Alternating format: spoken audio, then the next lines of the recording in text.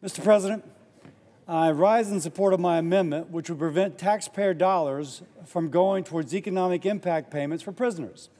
You may not realize it, but the first $1,200 checks we went went to every inmate in the United States. And I'm thinking, that can't be right. And I'm told it was a drafting error. Well, then we sent out the last checks, and I said, we got to stop this. And I was told that there were those who wished that those checks go to inmates.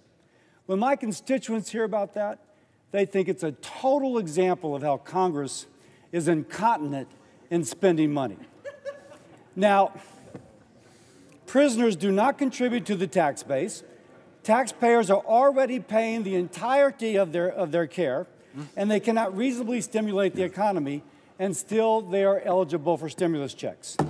I, The Senate will be in order. I argue that all spending on COVID relief must be targeted towards real needs. This is a perfect example of untargeted, inappropriate spending. I ask that my colleagues support this common sense amendment.